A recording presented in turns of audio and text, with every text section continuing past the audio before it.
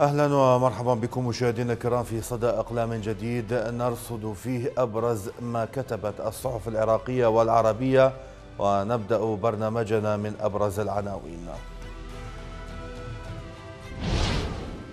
الهيئات هيئة علماء المسلمين حكومة بغداد تستهدف مناطق حزام العاصمة بمختلف الأشكال والطرق المدى حملات ينظمها طلبة الموصل لإعادة الحياة إلى مدينة المدمرة.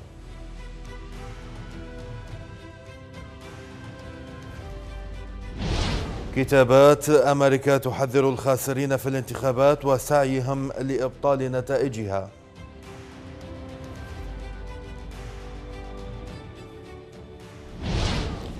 الجزيرة نت آلة القتل في سوريا تحصد خمسة من الخوذ البيضاء.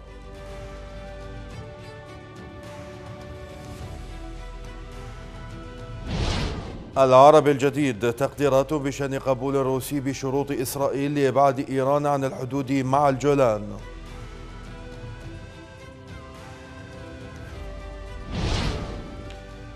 القدس العربي الصين تستضيف الرئيس الإيراني وسط شكوك بشأن الاتفاق النووي.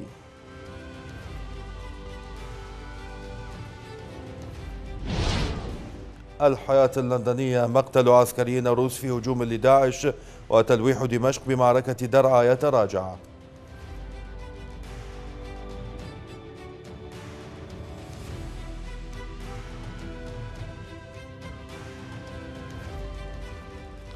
من العناوين ننتقل إلى المقالات حيث وجدنا مقالا كتب في متنه تجارب الشعوب والأمم عبره تؤكد أن العنف في حسم الصراع والخلاف بين الأحزاب والجماعات ليس دليل قوة واقتدار. وغالبا ما تقدم على اعتماده قوى معزولة تتحرك في الخفاء بعد أن تكتشف خواء برامجها وشعاراتها. أو ممسوسون مأجورون أخذ منهم اليأس مأخذا وعمليات العنف والاغتيال والتفخيخ. هي تعبيرات عملية عن النزوع نحو تصفية الآخر وإكراهه وانتزاع إرادته في إطار التزمت الديني والمذهبي. وليس بمعزل عن رفض مجتمعي. وهذه الأساليب هي نفسها التي تستخدمها الأنظمة الاستبدادية والشمولية والقادة المتوحدون المهووسون بالسلطة المنغمسون في الأنا وما تنطوي عليه من أمراض وخيلاء وأوهام العظمة والتفرد والاقتدار بحسب مقال نشرته صحيفة المدى عن الصراع الحالي بعد الانتخابات في العراق. وليس للعنف والتنكيل واستباحة كرامة الإنسان وتجريده من حقوقه وتشوفاته الإنسانية دين أو مذهب أو عقيدة سياسية. وقد أصبحت الوسائل الحديثة للتعبير عنها كأسلوب في الصراع كالتفجير والتفخيخ والكمائن الإجرامية هوية لا تخضع للعزلة والفشل والعز التي تحاصر الإرهابيين من أحزاب وجماعات وتيارات وميليشيات وأفراد لا يرى المجتمع فيها مخلصين أو سياسيين يمكن لهم أن يكونوا في موقع المسؤولية. إن القوى والأفراد التي تعتمد الحوار السياسي البناء في إطار الشرعية الديمقراطية الدستورية لا تمتلك بالضرورة وفي الغالب. وسائل الموت والتهيب والابتزاز لكي تستقوي بها في ترهيب الخصوم والمختلف معهم. وهذه القوى نفسها وليس غيرها ترى في الدولة وحدها وسلطاتها المنتخبة صاحبة الحق المطلق. في أن تمتلك وسائل القوة والسلاح وحماية البلاد والجماعات والأفراد والسهر على سيادة البلاد واستقلالها من دون تبعية أو انصياع لغير إرادة الشعب وما تقرره صناديق الاقتراع.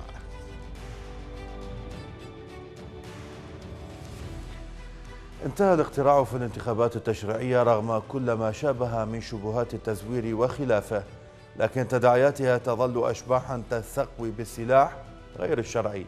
يتهدد إمكانية الانطلاق من نتائجها المشوهة الكامنة بإصلاح ما أفسدته سنوات هيمنة الطبقة السياسية المتورطة بكل كبائر خيانة الوطن وقهر المواطنين ونهب المال العام.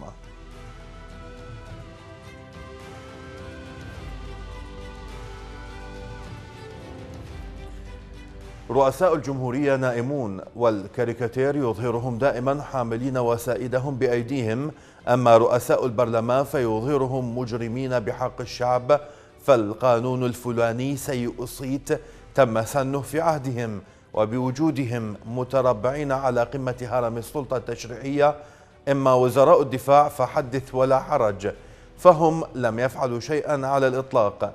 هذه ليس رؤيتي وإنما رؤية المتطرفين في النقد والذين لم يدرسوا علم الإدارة ولا يعرفون الفرق بين السلطة والصلاحية.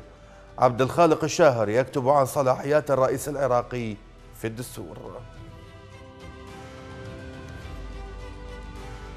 رئيس الجمهورية عندما ينام فإنه يعلم أنه إن صحى فليس بيده شيء يفعله وبالتالي فإننا لو جئنا بهتلر رئيسا لنام أيضا ولطبق المثل الشعبي اللي ما بخير نوم أخير. أما رئيس البرلمان فلو جئنا بموسوليني لما حقق شيئا بربطة عنقه أو بنائبه كون دوره الواقعي هو عد وفرز الأصوات ل 328 نائبا. جاءوا حاملين أوامر ديوانية من خارج البرلمان ليدلون بها تحت القبة وهذه الأوامر المقدسة هي أوامر رؤساء الكتل الكبرى الذين هم بالعادة لا يجلسون تحت القبة. لأنهم يعرفون قيمتها ويعرفون أن بإمكانهم صنع القرار باجتماع بسيط على العشاء في منزل أحدهم. وقد يجلسون تحت قبة كافتريا البرلمان فيلحق بهم جنودهم أعضاء البرلمان أو يزورونهم بين الفينة والفينة محاولين تغيير شيء دون جدوى. لأن بعض الأوامر أقرت خارج الحدود فيضطر رئيس البرلمان إلى السفر خارج الحدود حيث المطابخ السياسية المنتشرة في ضواحي المعمورة والويل له بعدها. فلنترك لهم السلطة هذه المرة. أيا كانوا كي لا تكون شراكة الآخر التي هي بالواقع شراكة إذعان وفشل لا تفيد الشعب بل تضر به أيما ضرر. لأنه إن سقطت محافظة قالوا الشركاء وإن أزكم الفساد الأنوف صاحوا الشركاء. فيا أيها الشركاء انتقلوا إلى المعارضة وليشكل رئيس الوزراء المقبل أيا كان حكومته كما يرى بعد أن يغادر حزبه لأنه القائد العام للقوات المسلحة ومن العيب أن يسمح لنفسه البقاء في حزبه.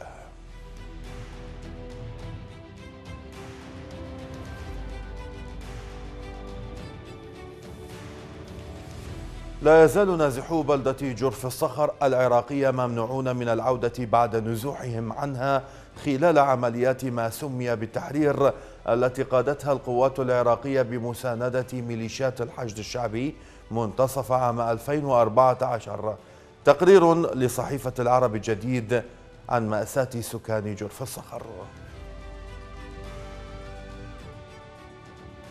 ويعيش أهالي البلدة النازحون إلى مدن مختلفة داخل مخيمات ومعسكرات النزوح ظروفا اقتصادية صعبة ونفسية عصبية.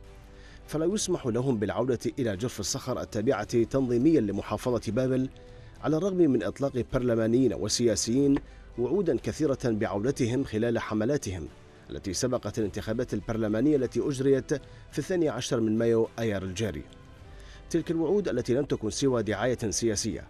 ويقول قحطان الجنابي وهو أربعيني نزح مع أسرته من جرف الصخر قبل أربع سنوات ويسكن حاليا في شقة صغيرة في منطقة تابعة لمدينة كربلاء جنوب العراق.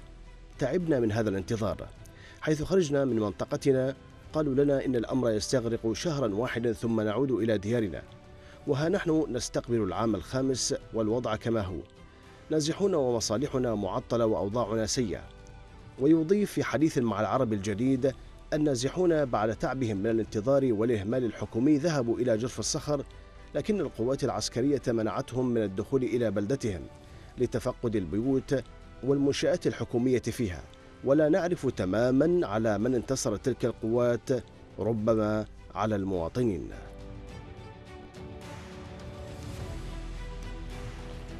يشار إلى أن ناحية جرف الصخر من بين المناطق التي شهدت تغيرا ديموغرافيا كبيرا بعد تهجير سكانها وجميعهم من مكون واحد ولم تتم الموافقة على عودة السكان بعد انتهاء العمليات العسكرية فيها.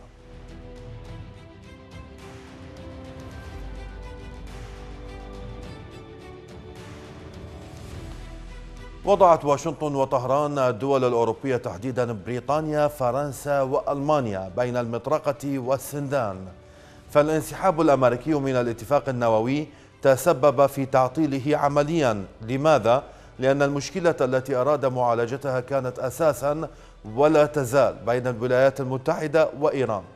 صحيح أن دول مجموعة الخمسة زائد واحد شاركت في مفاوضات تهدف لإقصاء الخطر النووي الإيراني ولم يكن هذا دافعها الوحيد جميعا بل كانت ترصد في الأثناء الخطط السياسية والتجارية المستقبلية بحسب الكاتب عبد الوهاب بدر خان في مقال بصحيفة العرب القطرية. لم يحصل التطبيع وتبخرت المشاريع والسياسات التي أمنت إدارة باراك أوباما في تحريكها مع إيران. لذا كان من الطبيعي أن يفكر أي رئيس أمريكي جديد دونالد ترامب أو سواه في إعادة النظر في الاتفاق. لكن أسلوب رجل الأعمال الذي اتبعه ترامب مربك لأنه غير مألوف في الدبلوماسية والسياسة الدولية. ولأنه مرتبط دائما بشبكة مصالح خارج مؤسسة الحكم وعندما حدد مهلة للأوروبيين كي يقنعوا إيران بتعديل الاتفاق كان يعلم بأنهم لن ينجحوا.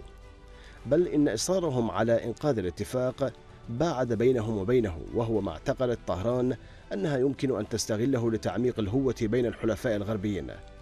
كان المسعى الأمريكي لإقناع إيران هو الوحيد المجدي غير أن إدارة ترامب استبعدته تماماً.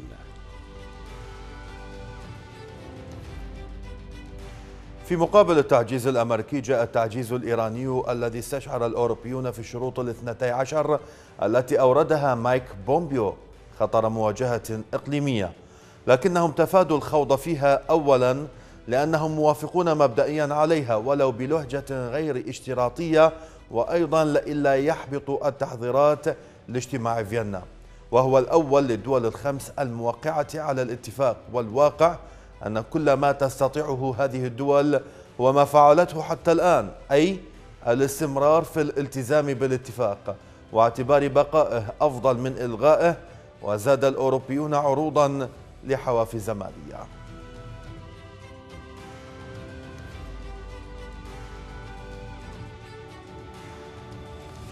نذر المواجهة الواسعة والمباشرة في المنطقة نضجت ظروفها وهناك ما يشبه الإجماع على أنها حتمية على الرغم أن لا أحد يرغب فيها.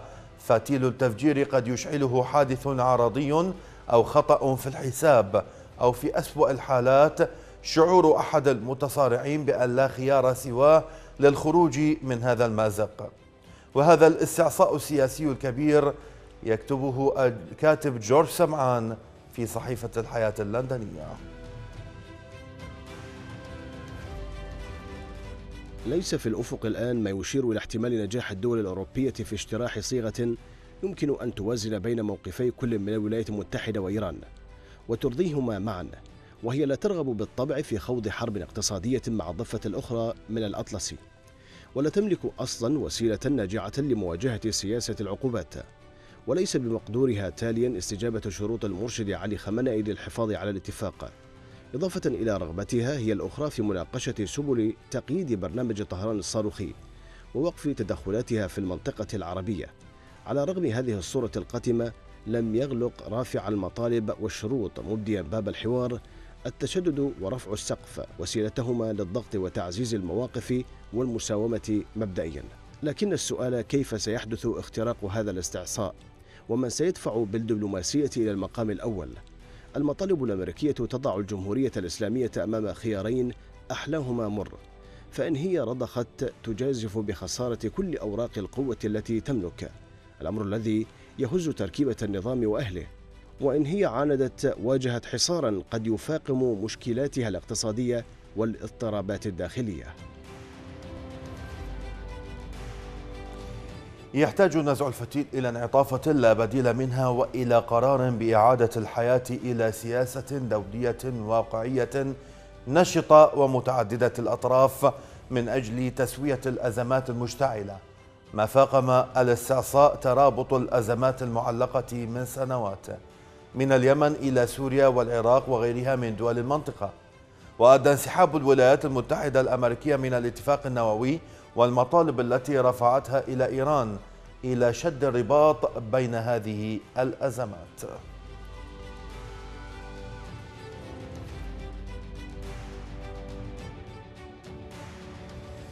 أن الحفاظ على كرامة الإنسان وتحقيق التنمية العادلة المتوازنة أمران متلازمان حيث يواجه سكان منطقتنا جملة من التحديات غير المسبوقة والمتشابكة تتضمن الصراعات الممتدة والحروب والنزوح البشري غير العادي. هكذا كتب الحسن بن طلال في مقال بصحيفة العرب اللندنية التباين السياسي في منطقتنا والصراع الذي نرى أثره العسكري والاقتصادي والاجتماعي يفت في جسدنا الواحد ويفوت علينا الفرص لتنمية إنساننا العربي. والمتصارعون لا يتأثر قرارهم بالمعاناة الإنسانية. ولن تتغير المواقف بسبب حجم المعاناة. والتخندق يضعنا أمام واقع لا يحتمل الانتظار بل يتوجه نحو المزيد من الاختناق والتشرذم. إن ما يزيد المشهد تعقيدا هو الاستمرار في التركيز على الحل العسكري لمواجهة القضايا وضعف المؤسسات الإقليمية وغياب استراتيجية إقليمية واضحة. ولا بد من العمل في مسارين الأول يعزز الهوية العربية لحماية الأمن القومي العربي وهنا أضيف الهوية الحميمية والثاني لتعزيز كرامة الإنسان العربي من أجل تقوية مناعة الدول من الداخل.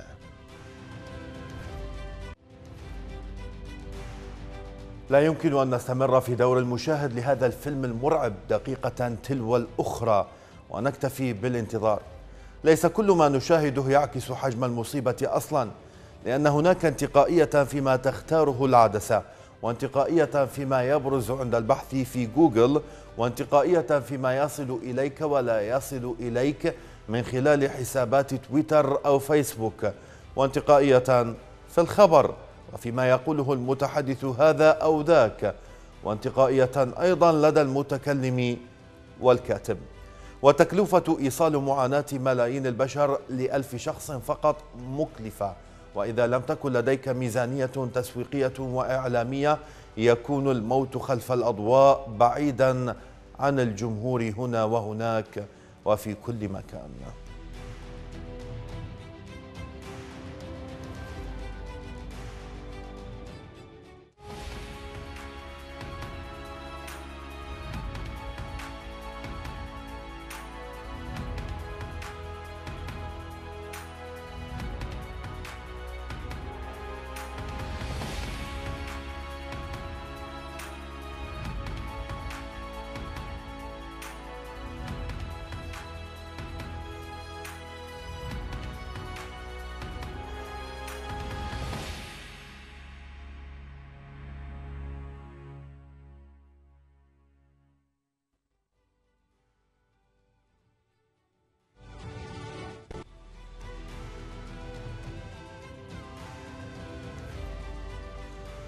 أعتاد الناس على كون حاملة الطائرات تطفو على سطح الماء شرقة البحار أو المحيطات لكن الولايات المتحدة الأمريكية بصدد ابتكار ونشر طائرات صغيرة مسيرة تسير بأسراب تهاجم العدو وتعود لحاملاتها التي ستحلق بصمت في الأجواء وكأنها مركبة فضائية فأي ابتكار أمريكي هذا؟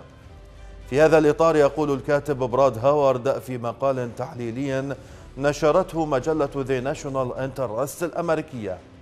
إن وكالة مشاريع الأبحاث الدفاعية المتقدمة التي غالبا ما يشار إليها باسم جناح العلوم المجنون في وزارة الدفاع الأمريكية أعلنت أنها تخطط لإصدار نظام طائرات مسيرة من طراز جريملين بيد أن هذه الطائرات الصغيرة الموجهة عن بعد. ستنطلق من الطائرة الأم المحلقة في الأجواء فتؤدي المهام المطلوبة منها وتعود إلى الطائرة الأم من جديد والتي تعد بمثابة حاملة طائرات تحلق في الأجواء لا على سطح المياه في البحار أو المحيطات.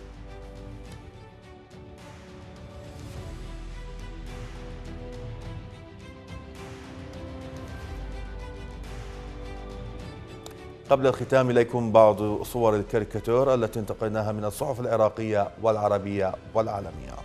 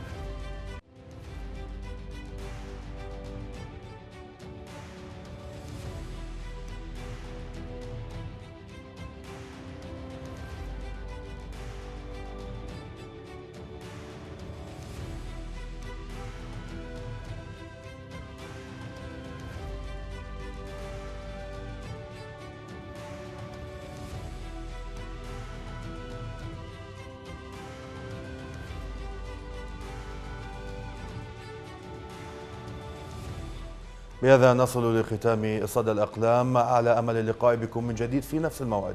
إلى اللقاء.